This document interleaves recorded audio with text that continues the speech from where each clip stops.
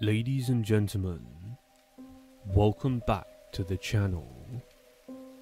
If this is your first time here, and you're somebody who enjoys listening to horror stories, join us by clicking subscribe down below, and please leave a like before we get started. Thank you. My name is Sarah, and I've always been a bit of a couch potato. I never really had the motivation to exercise or eat healthy. But one day, something changed. I decided that I was going to train for the New York Marathon. The thought of running 26.2 miles through the bustling streets of the city sounded like a challenge that I was ready to take on. I made the decision then and there that I was going to run it. But I knew that I couldn't just jump into it. I needed to train and actually get in shape. I did some research and found out that the marathon was only six months away. That gave me just enough time to get ready. I started my training the next day. I would wake up at 5am and go for a run around my neighborhood. At first, it was tough I could barely make it a mile without feeling like I was going to pass out. But I pushed through and gradually increased my distance. I also changed my diet. I cut out all the junk food and started eating more fruits, vegetables, and lean protein. It wasn't easy, but I knew it was necessary if I wanted to reach my goal. I also started drinking more water and less soda. As the weeks went by, I could feel myself getting stronger and faster. I no longer dreaded my morning runs. In fact, I looked forward to them. I even started to enjoy the feeling of my heart pounding and my lungs burning. It was a sign that I was making progress. But it wasn't just about getting in shape for me. I wanted to run the marathon for a cause. I decided to raise money for a charity that was close to my heart, cancer research. I'd lost my grandfather to cancer a few years ago, and I wanted to do something to honour his memory. I set up a fundraising page and shared it on social media. The response was overwhelming. Friends, family, and even strangers donated to my cause. It gave me even more motivation to push myself during my training. As the marathon drew closer, I knew I needed to step up my game. I decided to look for a trainer to help me prepare. I didn't have much money spare, but I was determined to find someone who could guide me and push me to my limits. I searched Craigslist and came across an ad. It was from a personal trainer who specialized in marathon training. His name was Ryan, and he had run the New York Marathon multiple times according to his profile. I sent him a message explaining my situation and my goal to run the marathon and raise money for charity. To my surprise, he replied within a few hours and we set up a meeting at a nearby park for the next day. I was nervous, but also excited to meet him and see if he would get me to be one of the people to reach their goals. When I arrived at the park, I saw a tall, muscular man with a friendly smile waiting for me. He introduced himself as Ryan, and we got straight to business. He asked me about my training routine, my diet, and even some personal stuff about my family. I could tell that he was impressed with how far I'd come just on my own. We started our training session with a warm-up and then moved on to some running drills that he taught me how to do. Ryan pushed me harder than I'd ever pushed myself. He corrected my form and gave me tips on how to improve my speed and endurance. I could feel my muscles burning but I didn't want to give up. I was so determined to show Ryan that I was serious about this. After the training session, we sat down and talked about my goals and expectations. Ryan was a great listener, and he understood my reasons for wanting to run the marathon. He told me that he would be happy to train me for a discounted price since I was doing it for charity. I couldn't believe my luck. I'd found an amazing trainer who was not only helping me achieve my goal, but also supporting me in my fundraising efforts. I thanked him, and we set up a training schedule for the next few months leading up to the marathon. Running has been a passion since I was a kid, but after a while, after dropping out of high school, I became a couch potato and did absolutely nothing with my life. I've always dreamt of completing a marathon, so when I heard that the New York was just coming up, I jumped at the opportunity to participate. Ryan was a seasoned marathon runner and had completed the New York Marathon course multiple times. He was known for his intense training techniques and had a reputation for transforming average runners into pretty fast sub 3 hour guys. When I first met him, I was intimidated by his muscular physique and his pretty stern demeanour. But as we started training together, I realized that he was a kind and dedicated trainer who wanted nothing but the best for me. As the weeks went by, Ryan and I spent a lot of time together. We would meet early in the morning for our runs and spend hours in the gym working on strength, conditioning, and endurance.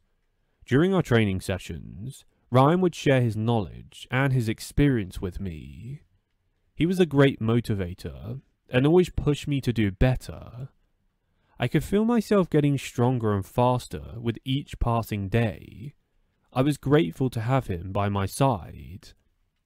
However, as our training progressed, I started noticing a change in Ryan's behaviour.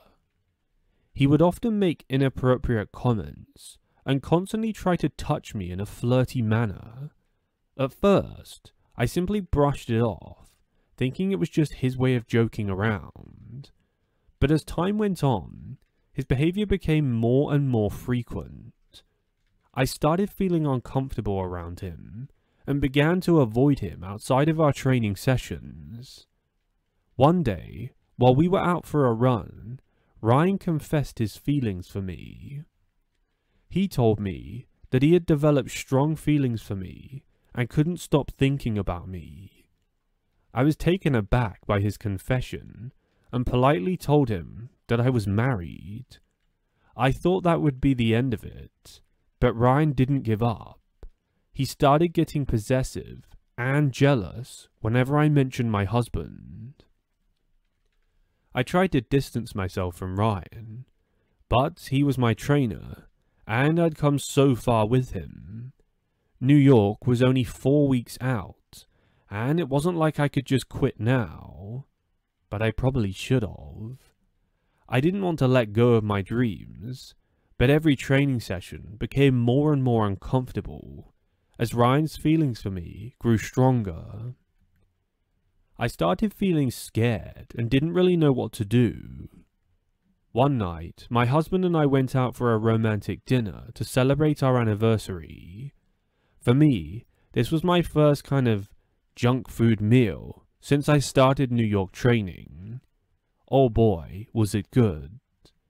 As we were walking back to our car, I thought I noticed a guy who looked like Ryan standing across the street from us. I looked, but then quickly dismissed it, thinking that he was probably out for a run or it was just a guy that looked like him. But when we got home, 20 minutes later, we found the door to our house slightly open, but the lights turned off. My heart started pounding with fear as I realized that someone had broken into our house. As we cautiously entered the house, we found Ryan standing in the living room with a knife in his hand he had a crazed look in his eyes as he lunged towards my husband. I screamed and ran towards him, trying to stop what he was trying to do. Ryan was too strong, and in the struggle, my husband got stabbed in the arm several times. I quickly called the police after my husband knocked Ryan out. They arrived in just enough time to stop Ryan from causing further harm not only to us, but himself. If my husband hadn't have knocked him out, he would have most likely killed both of us. It turned out that Ryan confessed to planning on getting rid of my husband so that he could have me all to himself. He had set up the break-in to make it look like a robbery gone wrong. Thankfully, my husband's injuries were not life-threatening, and he made a full recovery. Ryan was arrested and charged with attempted murder and break-in. As I sat in the courtroom, watching Ryan being sentenced, I couldn't help but feel a mix of emotions. I was grateful that my husband was safe, but I also felt a sense of betrayal and disappointment towards Ryan. I had trusted him and looked up to him as my trainer, but he had turned out to be a dangerous and obsessive person. In the end, I still ran the New York City Marathon and completed it with a scooper time of 4 hours and 3 minutes. But the experience has left a scar on my heart. I couldn't help but wonder if I had missed any signs of Ryan's dangerous obsession with me. Nevertheless, I learned a valuable lesson. To always trust my instincts and never let anyone manipulate me, even if they are a person in a position of power.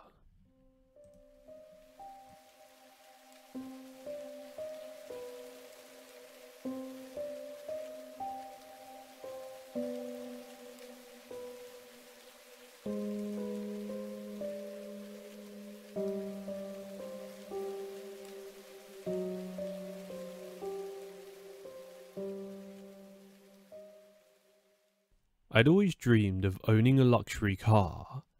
Something that would turn heads and make me feel like I'd truly made it in life. I came across a listing on Craigslist for a rebuilt Aston Martin Vantage 2013. I couldn't believe my luck. The car looked stunning in the photos, and the price was a steal at only $50,000. Side note, story written in 2016. I quickly contacted the seller and set up a meeting to see the car in person. When I arrived at the designated location, I was met by a man who introduced himself as Max. He seemed friendly enough and showed me around the car, pointing out all the new parts and upgrades that had been done during the rebuilding process. With rebuilds, you can't see everything, but there were other things he did like a new battery, spark plugs, etc. I took the car for a test drive, and it felt like a dream. Smooth, powerful, and everything I'd ever wanted in a car. Without hesitation, I wired Max the money, and he handed me the keys. I was on cloud nine as I drove my new Aston Martin Vantage home. But my excitement was short-lived. Just 20 minutes into my drive, the car suddenly started sputtering and the engine died. I pulled over to the side of the road, my heart racing with panic. I tried to start the car again, but it wouldn't even turn over. It was then that I realized something really bad had gone wrong. Feeling angry and betrayed, I called my friend Alex and told him what had happened. He agreed to come help me tow the car back to Max's house. I was determined to get my money back and make this con artist pay for what he had done. As we pulled up to Max's house, I could see him standing outside, waiting for us. He seemed to be smoking, just stood on his porch. As we approached, I noticed something weird. There was a weapon that he was concealing behind his t-shirt. I saw it as he turned around and faced towards his door. My heart sank as I realized that this situation was about to get much worse, or at least had the potential to get worse. Alex and I got out of the car, but Max was already making his way towards us with a menacing look on his face. Before we could even say a word, he pulled out the gun and pointed it at us. I told you, there's no refunds, he sneered, his hand shaking slightly as he held his finger over the trigger. I could feel the fear creeping up inside me, but I refused to back down. I demanded that he give me my money back, but Max just laughed and told me to leave before things got ugly. As he spoke, I noticed that his eyes were glared over, and he seemed to be high on something. But I wasn't about to let him get away with this. I had worked hard for that money, over years and years, decades and decades, and I wasn't going to let some scumbag take it from me like this. Without even thinking, anger got the better of me. I lunged forward and grabbed the gun from his hand. Had he have not been high, he probably would have shot me in the head, but he was totally out of it. His reaction times were awful, and he was extremely weak. The sudden movement seemed to startle him. He stumbled backwards, giving me the opportunity to run towards the car and grab the briefcase. Inside the briefcase was my friend's gun. He had told me not to open this case unless it was a life or death situation. As I turned back to run to Alex, I heard the sound of a gunshot, and I felt a searing pain in my shoulder. The gun that Max had dropped, he had somehow managed to recover in a matter of seconds, shooting me. I fell to the ground, clutching my shoulder as blood poured out of the wound. I had not enough time to grab the gun that had come with Alex's briefcase. I could hear Alex screaming my name, but my vision was starting to blur, and I could feel myself slipping into unconsciousness. The next thing I knew, I was in a hospital bed with Alex sitting by my side. His arm was in a sling, and he had a bandage over his chin. He explained that after I had been shot, he tackled Max and managed to get the gun away from him before calling for an ambulance. This was probably the best bet over having a shootout with him in the middle of a neighborhood. I was lucky to be alive, but the whole ordeal had left me traumatized. The police were able to track down Max and he was arrested, but it didn't change the fact that I'd lost $50,000 and almost lost my life.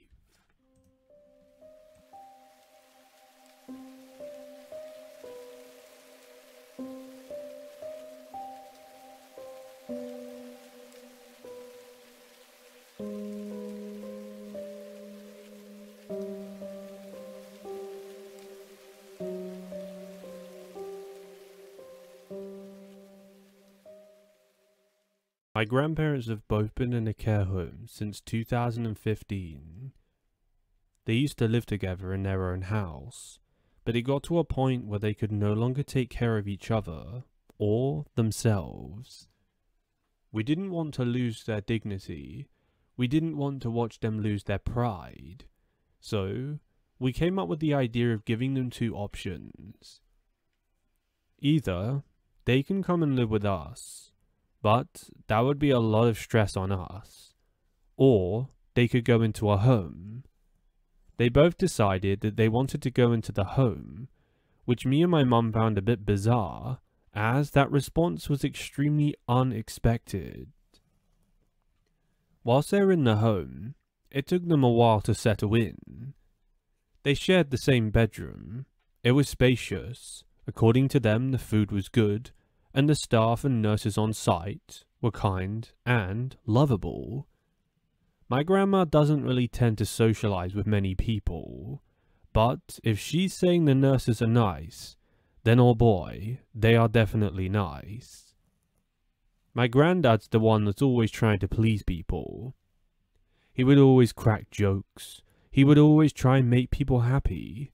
and he was always the guy that used to buy me all the best presents at Christmas. He still does. Male, 21.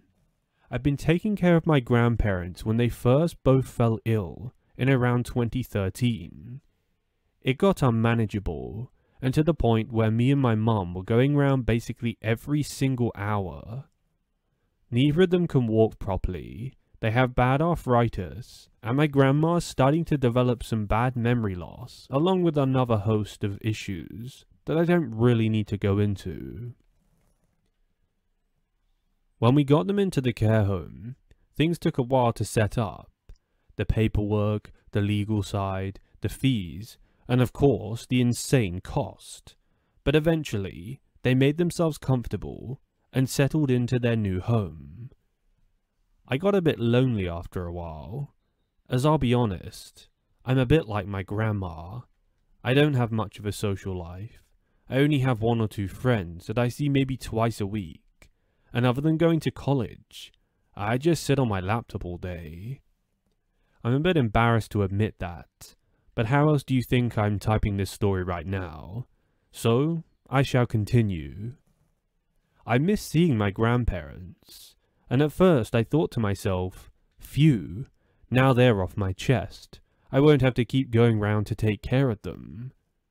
But they really were like my friends. They took care of me, and I soon realized how selfish that feeling was. Not only was it selfish, but not even an ounce of it was true. I had words with my mum, and I started going up to the care home around once a week to visit them. That wasn't enough though, and I know my granddad wanted to see me a lot more, so I began going up every single evening, making the 20 minute or so walk up there. While I was at the care home, I would find myself doing odd jobs helping some of the nurses and carers.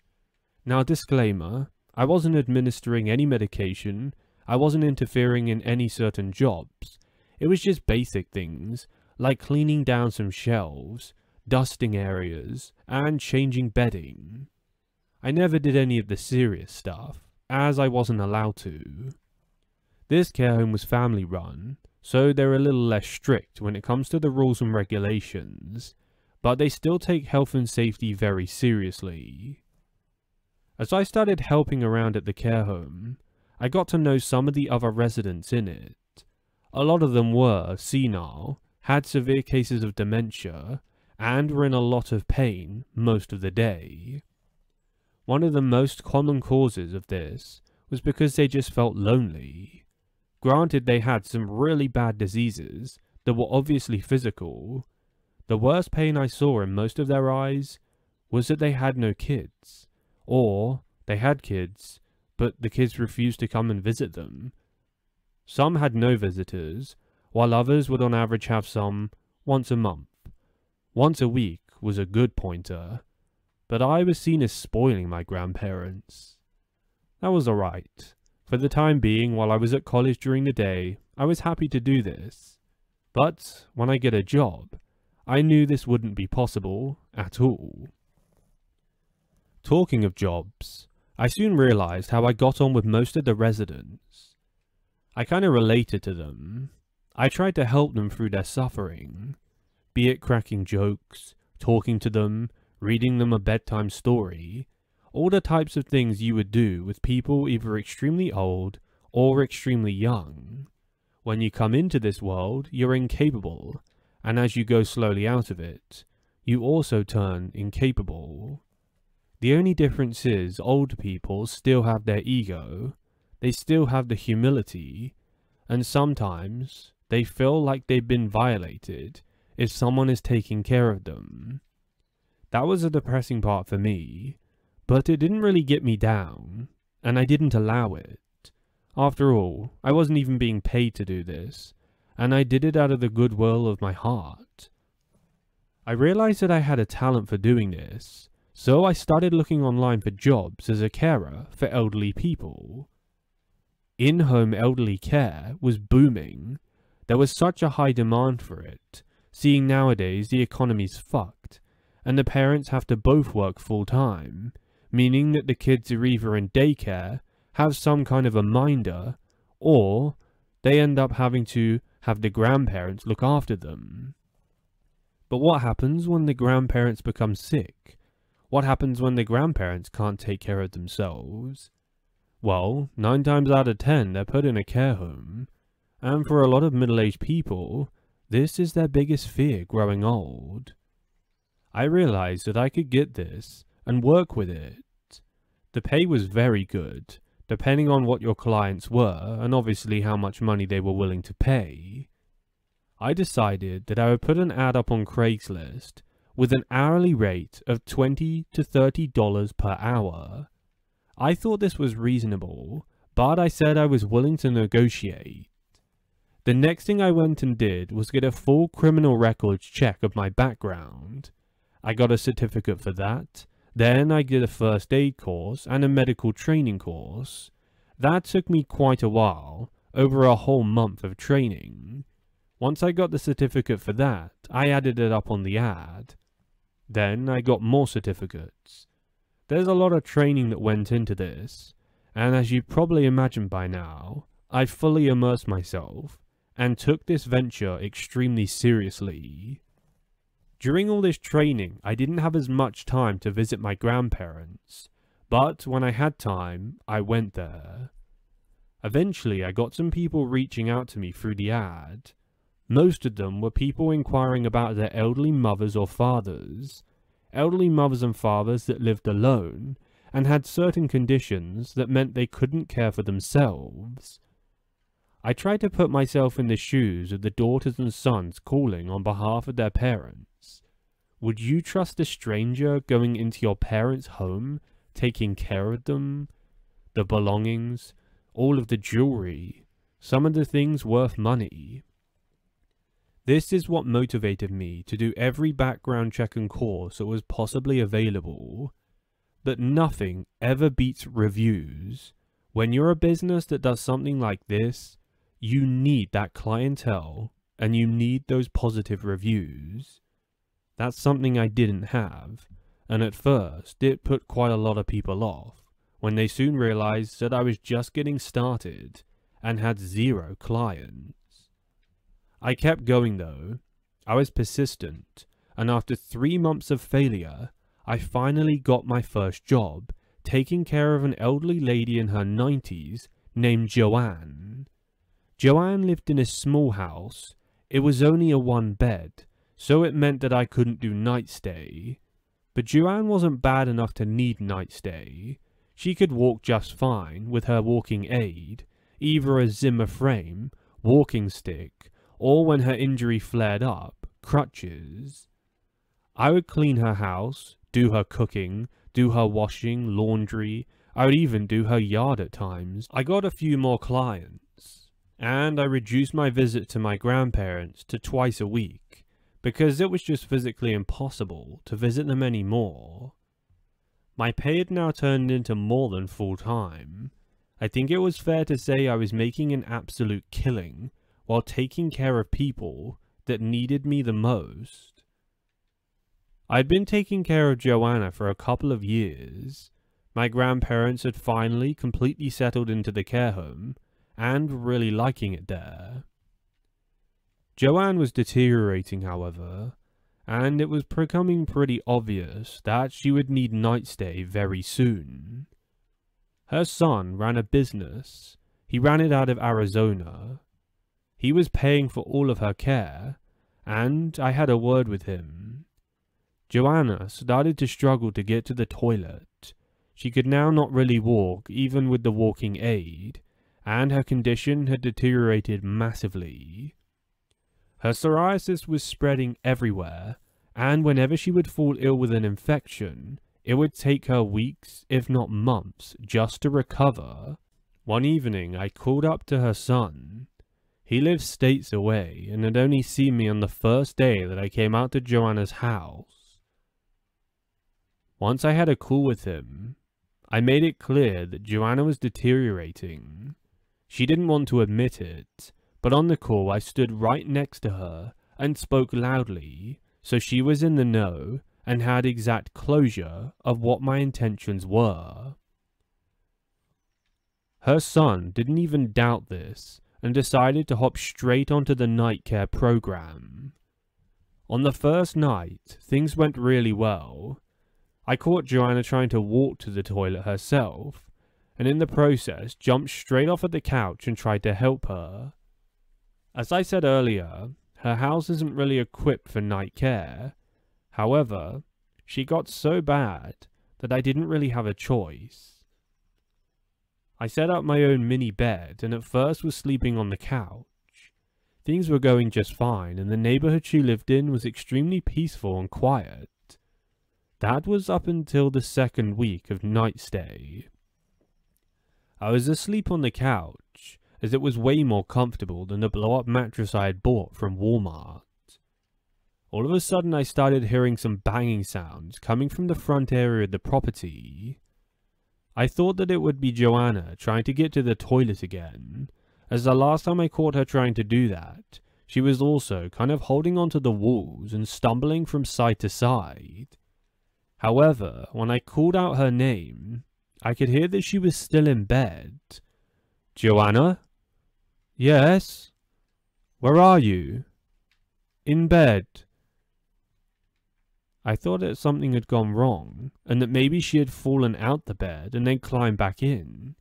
So, I decided to get off the couch, put my blanket back down on top of it, and make my way round over to her bedroom.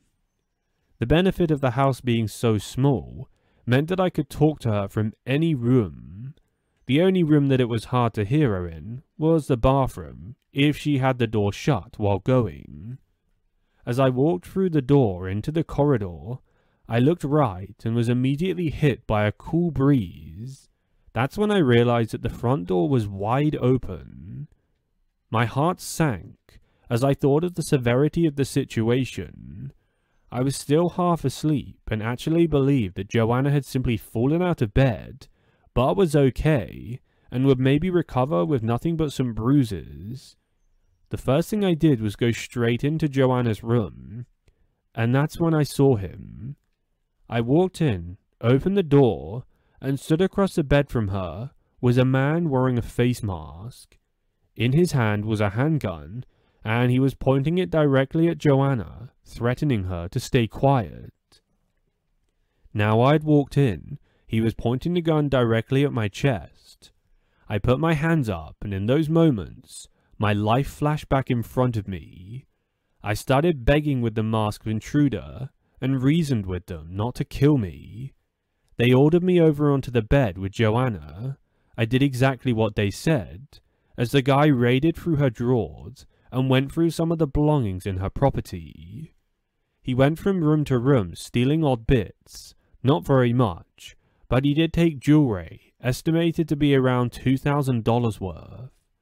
He shut the door after himself and was in the property for around a couple of minutes. I called 911 the second he left and locked all of the doors and windows. When the police arrived, they did a search of the property and tried to take some swabs for fingerprints. They never located who this was and never caught the perpetrator. Ever since this happened, we put deadbolts on her doors, we installed ring doorbell cams, and took extra precautions so this never happens again. I've never had a gun pointed directly at me, and the thoughts that I imagined in those few seconds were pretty dark.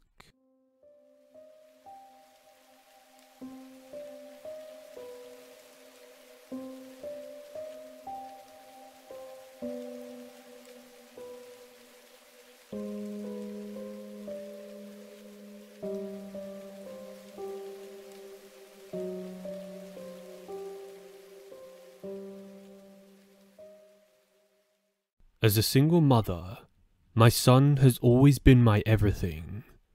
From the moment he was born, he brought a sense of purpose and joy into my life that I never knew was possible. His bright smile and curious mind never failed to light up my world, and I would do anything to make him happy. Recently, my nine year old son has been on a quest to find the perfect drink. He had heard about it from his friends at school and was determined to try it for himself. It was called Prime, and it was the latest craze among kids his age. With its vibrant colours and unique flavours, it was no surprise that my son was eager to get his hands on it. I'll admit, I was a bit hesitant at first. As a single mother, I always tried to make sure my son had a healthy and balanced diet. But after seeing how much this drink meant to him, I decided to do some research and see what all the fuss was actually about. I soon discovered that Prime was not just any ordinary drink. It was a special drink that the whole world had gone nuts about. It turns out that some YouTubers had made this drink. These just so happened to be YouTubers that my son was subscribed to, and the rest, well, that was history. My son's excitement only grew as he learned more about Prime. He begged me to take him to the store to buy it, but to our disappointment, it was sold out everywhere. Apparently, it was in such high demand that it was constantly out of stock during the first couple of months of its production. But my son was not one to give up easily. He was determined to find this drink and taste it for himself. He begged me to check every store we passed by, hoping that one of them would have it in stock. I couldn't help but smile at his determination and his persistence. And to be honest, even if it was a hundred dollars a bottle, I probably would have just bought it. We searched high and low, from small convenience stores to big grocery store chains, but Prime was nowhere to be found. As a single mother, I didn't have much free time on my hands, but I was willing to do whatever it took to make my son happy. I even asked friends and family to keep an eye out for it, but it seemed like everyone was on the hunt for this elusive drink. As the days went by, my son's disappointment grew. He couldn't understand why a drink that seemed so popular and in demand was so difficult to find. I could see the disappointment in his eyes every time we came back empty handed. I simply refused to give up. My son's happiness was my top priority, and I was determined to find this drink for him. I started calling stores ahead of time, asking when their next shipment of Prime would be arriving. I even set up alerts on my phone for any stores that had it in stock. My son's thirst for Prime was never quenched. He would constantly ask me about it, and even drew pictures of what he thought the bottle would look like. I couldn't help but smile at his enthusiasm and creativity. One day, after weeks of searching, I received a notification on my phone that a nearby store had Prime in stock. I immediately grabbed my son and we rushed to the store, not wanting to miss our chance. As we ran down the drinks aisle, I could see my son's excitement building, and there it was, sitting on the shelf, the coveted prime drink. My son was so happy that he ran straight towards it, grabbing a bottle and examining it closely. I couldn't help but feel a sense of relief and joy as I watched my son's face light up. I knew how much this meant to him, and I was glad that I could make it happen. As we made our way to the checkout, my son couldn't stop talking about he couldn't wait to try it. As soon as we got home, my son ripped open the bottle and started gulping. His face lit up with delight, and he exclaimed, This is the best drink ever! I couldn't help but smile as I watched him enjoy his long awaited prime drink.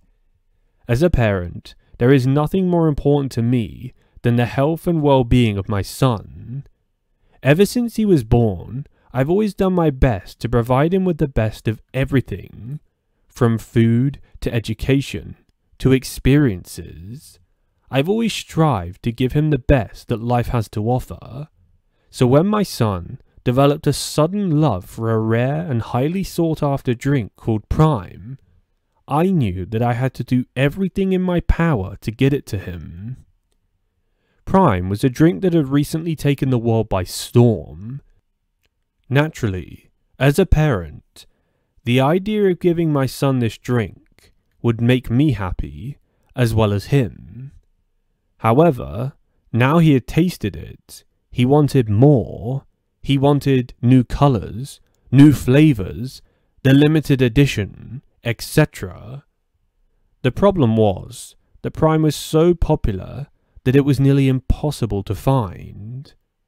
It was sold out in every store, and the few online retailers who had it were selling it for extortionate prices.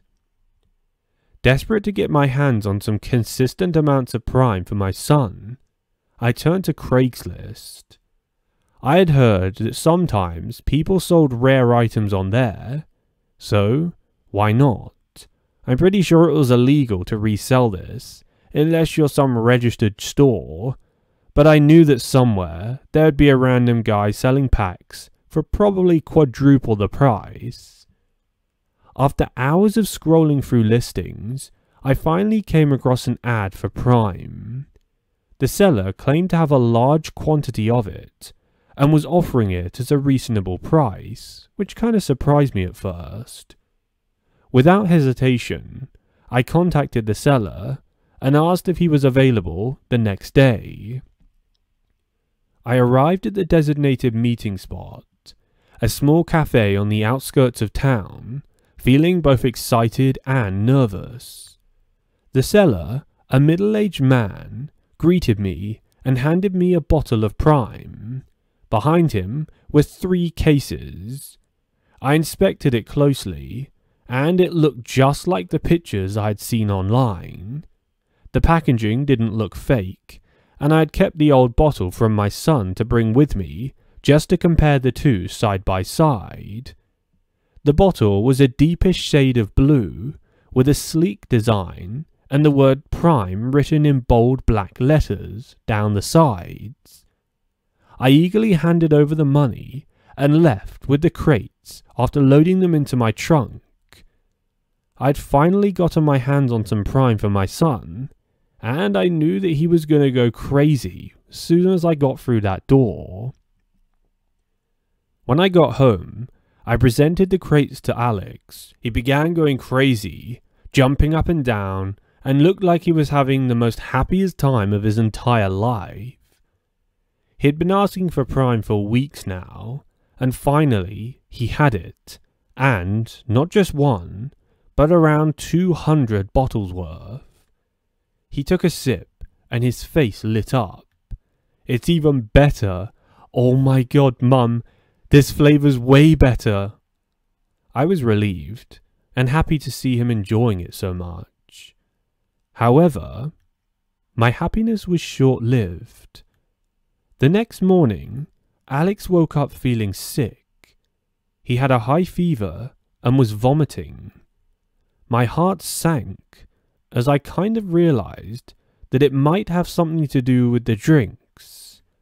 I immediately rushed him to the hospital, where some of the doctors confirmed that he had been poisoned they asked me if he had eaten or drank anything unusual in the past 48 hours, and that's when it hit me. The prime. I was devastated. How could this have happened? I had been so careful, and even inspected the bottle myself. It wasn't until I looked closely at the bottle that I realized the mistake I had made. The bottle did not have the official Prime logo on it and somehow I'd completely missed that while stood in front of the guy.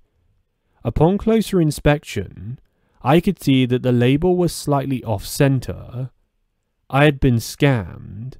The man on Craigslist had sold me a fake bottle of Prime, and worse, it seemed like the drink had been contaminated with some sort of rotten water. As I sat in the hospital with my sick son, who was throwing up his guts, I couldn't help but feel guilty. Alex was becoming seriously dehydrated, and they told me that if he was continually sick for another hour or two, they would have to inject him to stop the vomiting in order to save him from severe dehydration. I had been so desperate to get him prime that I'd let my guard down, got desperate, and fell for a scam. I was angry at myself for not being more careful and for putting my son's health at risk. I vowed to never let my desperation cloud my judgment again. After a few days in the hospital, Alex's vomiting stopped. He recovered from his illness. However, the incident had left a lasting impact on both of us. Alex was now hesitant to try new things, and I couldn't blame him. We chucked all the crates out and had them disposed of. I'd let him down, and I'd shattered his trust in me. I knew I had to make it up to him. Somehow. I decided to take matters into my own hands and try to find a legitimate source of Prime once again. I scoured the internet, read reviews, and asked around. Determined to find a trustworthy seller, I knew that it was just a matter of time days, weeks, maybe even months before this craze finally died down and the availability became way more easier.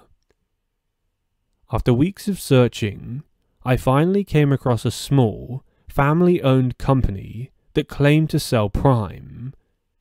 They were located in a remote village in South America, and their production was limited due to the variety of ingredients that they used.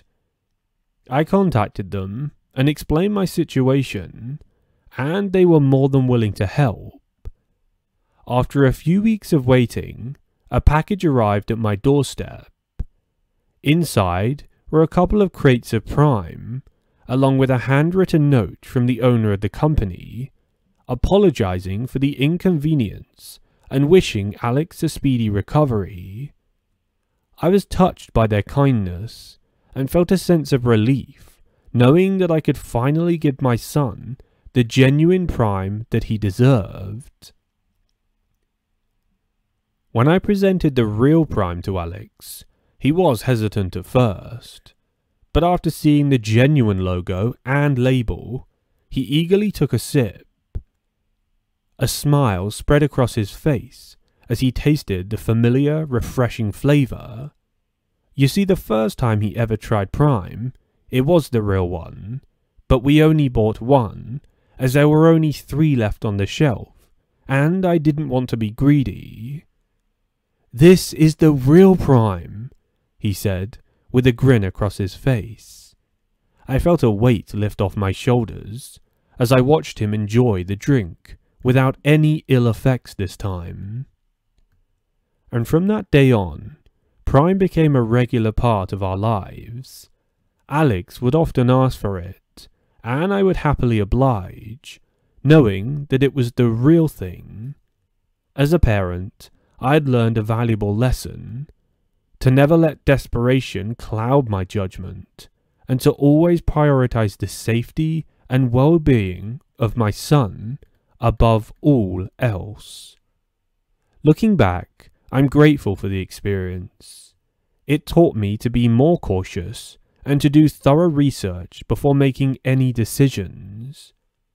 Most importantly, it reminded me that the love and care we show for our kids is more valuable than any rare or expensive item.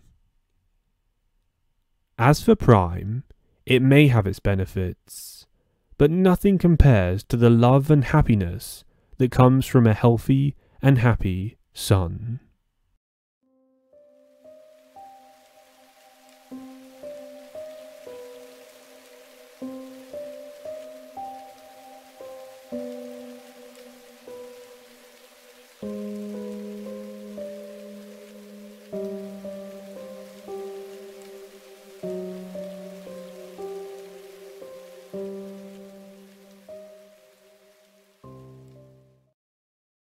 Ladies and gentlemen, thank you for joining me in today's stories. We are now well over a hundred for the Craigslist Horror Stories edition. If you enjoy this channel and you're not yet subscribed, please do. It says on my analytics that most of my viewers actually are not subscribed, which is kind of sad to be honest, as I work very hard on this channel to bring you guys daily uploads there aren't many other horror story channels on YouTube that post every day, and if they do, they're usually only around 5 to 10 minutes. I think I'm up there with one of the most consistent channels on YouTube, so please, if you can, subscribe, if you aren't already that is, you can only subscribe once, and leave a like on today's video as well, as that helps the channel grow and it means a lot to me also. If you want to comment down below, feel free to as well. You can give your opinions on any of the stories. You can criticize the stories or you can give your advice to the people who wrote them. They're probably reading the comments, or some of them are. I can't guarantee every single one of them are.